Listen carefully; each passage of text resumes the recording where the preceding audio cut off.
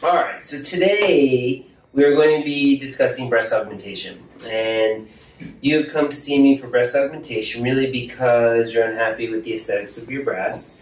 And we're going to achieve through the placement of implants really some upper pole fullness, uh, put your body in greater proportion. Our top is going to give us better curves with our bottom, and everything is going to be improved from how we fit into clothing to bras to bathing suits, and really overall make you feel a lot happier with your body. So, what made you want to come in for breast augmentation? Well, I've been thinking about it for uh, many years now. Um, I specifically wanted to wait until I was 22 so that I could get the silicone um, instead of the saline, so I had that option. And I really just wanted to get them so that I had a more feminine figure um, to make me feel a little bit better about myself, for myself um, personally, um, and just so that um, I could be a little bit more proportional with my body. That's great. So, you know, when we talk about breast augmentation, there are four things that we discuss. The first is saline versus silicone.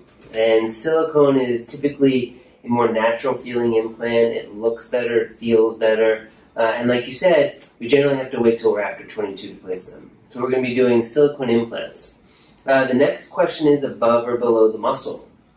And in someone like you who doesn't have a lot of breast tissue and who's skinnier, we really like to go underneath the muscle to decrease the visibility and palpability of the implant. The next question is incision placement. So the typical incisions are underneath the breast or underneath the areola.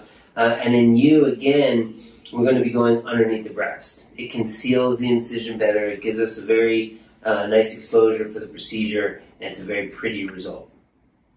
And lastly, size. So we've gone over a lot about size, both uh, looking at before and after pictures, and we really look and use uh, biodimensional planning. So we take measurements of your body, and based on those measurements, pick an implant to fit your body so that it's not too wide, it's not too narrow. It's really going to fit your body appropriately and pretty.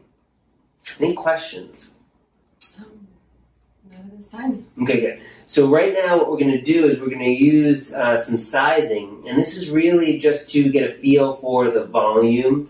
It's not necessarily how exactly they're going to look because you know they're on top of the body, but this is going to give you a sense of volume and really um, how and what to expect. So it's very important when we're doing breast augmentation that we take good measurements of the body, and we use what's called biodimensional planning to take these measurements.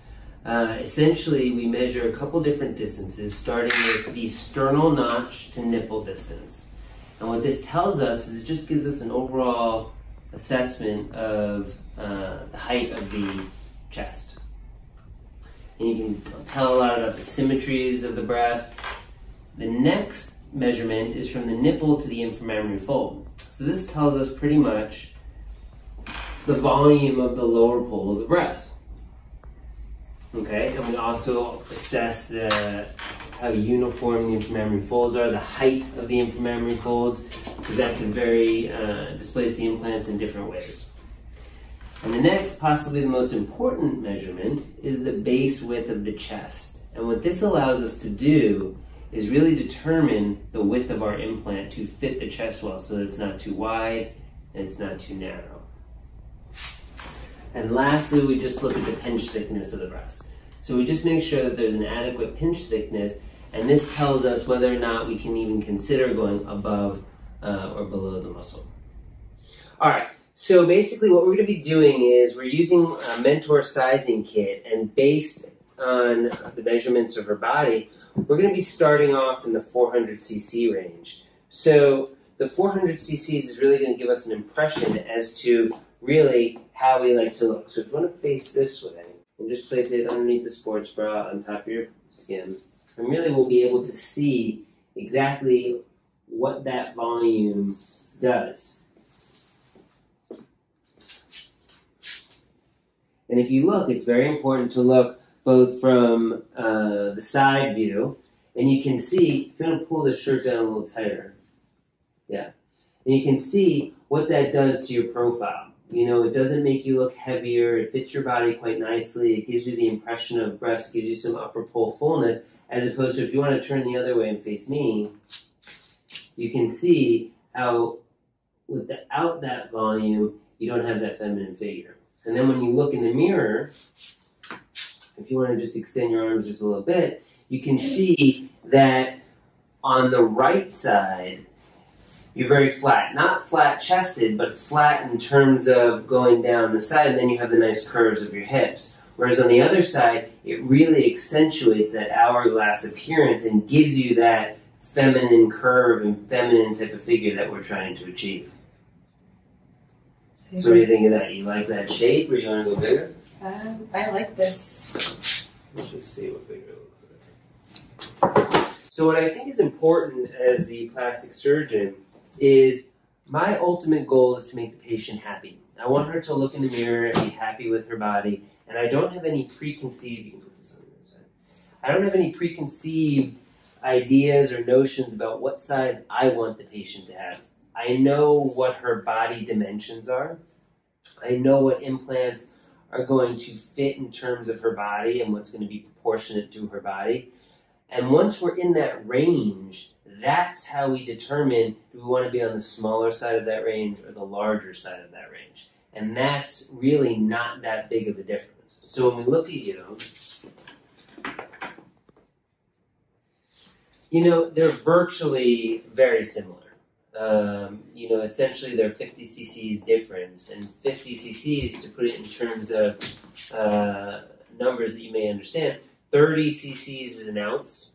A Coke can is 12 ounces. So the difference between 400 and 450 is essentially a tenth of a Coke can.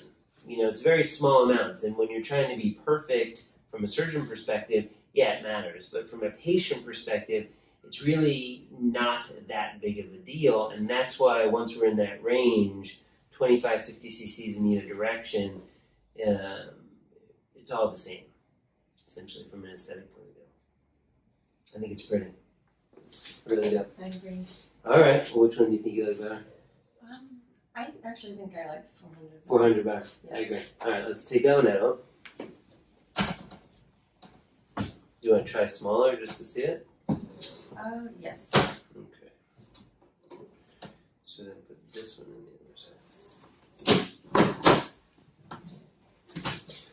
All right, so now she really likes 400, and we tried 450 on one side, and she thought that that was a little too large. So now we have 350 on one side and 400 in the other.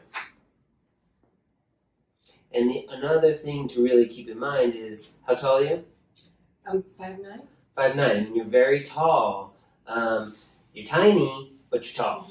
And so we need an implant that, number one, has enough volume to fit a five nine frame, but is not too big or too wide to really um, make it so it's not proportionate. And that's where we really come into play in terms of projection.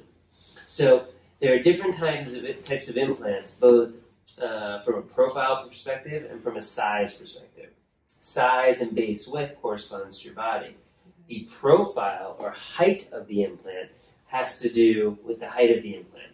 So that once we get the appropriate uh, width to fit the width of your chest, then we can change the height of the implant to fit the size that we want to get. So in someone like you who's very skinny, who wants a larger type of implant, we often will go with a narrower implant to fit your narrower chest width, but then increase the height of the implant using higher projection implants to really get the desired size that we want. Okay, so which one do you like better here? I like this one. For sure. Alright, so let's put 400 on both, and I think we got our size.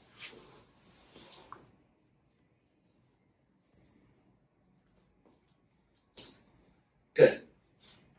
So, and you can see that basically I think 400 is very pretty. It fits your body very nicely. I think it's not overly uh, large. I think it's not too small. I think it's perfect. I agree. Perfect. Okay, good.